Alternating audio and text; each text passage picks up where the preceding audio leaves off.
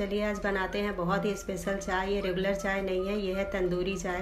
तो इसके अंदर डालेंगे हमें एक ऐसी खास चीज़ जिससे इसका टेस्ट बहुत ही ज़्यादा बढ़ जाएगा। तो आप ये देख सकते हैं हरी चाय पत्ती है हमारे पास। यहाँ पर हमने लिया एक कप पानी, इसमें डालेंगे हरी चाय पत्ती थोड़ा सा तुलसी पत्ती थोड़ा सा दालचीनी, एक लौंग। तो पानी हमारा पक रहा है, हम इसमें डालेंगे एक इंच अदरक का टुकड़ा, दो छोटी इलायची, इसको हम थोड़ा कूट लेते हैं। तो इस समय बारिश का सीज़न चल रहा है तो अदरक, तुलसी की पत्ती बहुत ही ज़्यादा फ़ायदेमंद होती है। सर्दी जुकाम भी नहीं होता इसको पीने से। तो पानी अच्छे से खोल रहा है, इसके अंदर डाल देंगे एक चम्मच चाय पत्ती, अदरक कुटी हुई।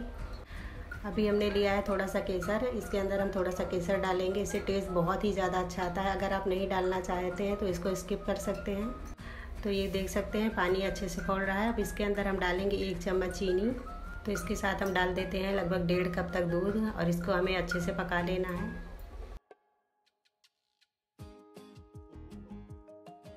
तो इसके अंदर हमने सारी चीज़ें डाल दी है। अब इसको हम पकने देते हैं। अब हम गैस ऑन करते हैं।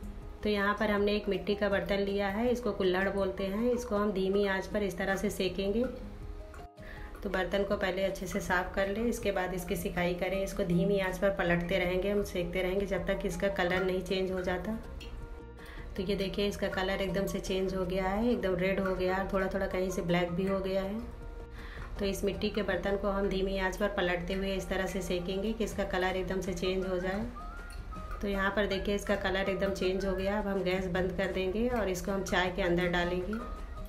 तो आप देख सकते हैं, चाय अच्छे से खोल गई है। अब हम इस मिट्टी के बर्तन को इसके अंदर डाल देते हैं। तो यहाँ पर आप देख सकते हैं, मिट्टी का बर्तन डालने से चाय एकदम से फूल कर ऊपर आ जाती है। तो यहाँ पर आप ध्यान रखें कि बर्तन थोड़ा बड़ा ही लें, नहीं तो चाय बाहर आ जाएगी। तो आप इस तरीके से भी चाय बना सकते हैं। आप पूरी चाय को पका लें, उसके बाद छान लें, फिर इसके बाद मिट्टी के बर्तन में चाय को रख दें, लेकिन हम यहाँ सीधे मिट्टी के बर्तन को चाय के अंदर डाल रहे हैं। तो हमारी चाय अच्छे से पक चुकी है। इसके अंदर बबल आने भी बिल्कुल कम हो गए हैं तो मिट्टी के बर्तन को हम बाहर निकाल लेते हैं और इसको छानेंगे। तो यहाँ पर हमने मिट्टी का एक कुल्हड़ लिया है, इसके अंदर चाय को छान लेते हैं। मिट्टी के बर्तन की जो सोधी सी खुशबू होती है, जो टेस्ट होता है ना, बहुत ही ज़्यादा अच्छा लगता है। हमारी चाय बनकर तैयार हो गई है, लग रही है ना, बहुत ही टेस्टी चाय।